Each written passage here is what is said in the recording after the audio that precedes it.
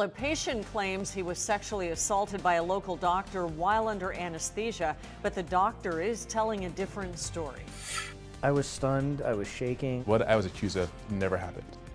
What Team 10 investigates, see the exclusive interview. A Team 10 exclusive. A local doctor is accused of sexually assaulting patients who were under anesthesia. Team 10 investigative reporter Jennifer Kastner spoke to a former patient who says that he was abused. And then later this week, Jennifer got the accused doctor to sit down for an interview. The doctor denies any abuse. The hospital cleared him to return to work, but police have an active criminal investigation, and the DA's office has been fighting the hospital for information. He's normally a tough guy. I'm, I'm sad. But tonight his eyes have welled with tears.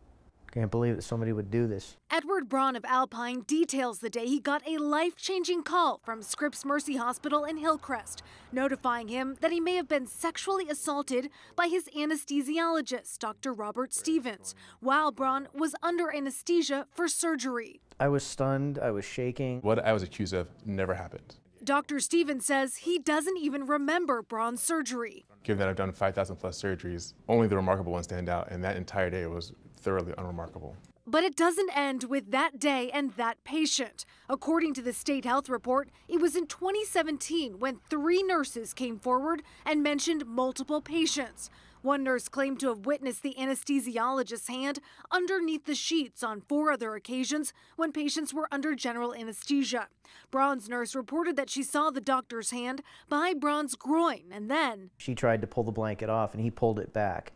And then she yanked it off and saw what he was doing. I was still under anesthesia, unconscious when it happened. I've never been inappropriate with any of my patients, nor would I ever be. Why would three nurses falsely accuse you of something so egregious?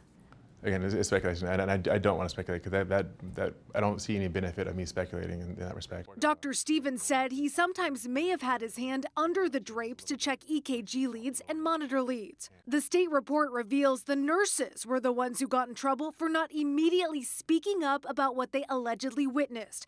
But there's no mention of any corrective action for the doctor. They report something and they get reprimanded for it that's not right. The hospital sent 10 News a statement reading in part that Dr. Stephens was suspended following the allegations. And after five full day evidentiary sessions, the arbitrator found that while the initial action was reasonable, the suspension was no longer reasonable and he should be permitted to return.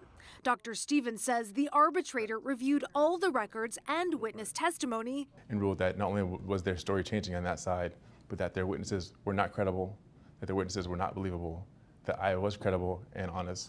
He signed a confidential agreement with Scripps and voluntarily left. The story doesn't stop there. San Diego police have an active criminal investigation, according to a deputy DA who's involved in the case. That DA confirmed that prosecutors have fought all the way up to the California Supreme Court to get records from Scripps Mercy Hospital, but have so far been unsuccessful.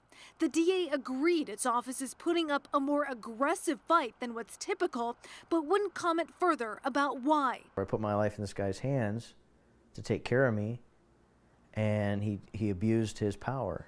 Braun is now suing the doctor, hospital, and anesthesia group for assault, battery, and negligence, among other complaints. Initial allegations are very catchy, and they very they, they do they, they do pack a punch, but they aren't the truth. Although other patients may have been affected, Braun was the only one who the hospital could identify. Dr. Stephens is now practicing at Alvarado Medical Center near SDSU. In the newsroom, Jennifer Kastner, 10 News.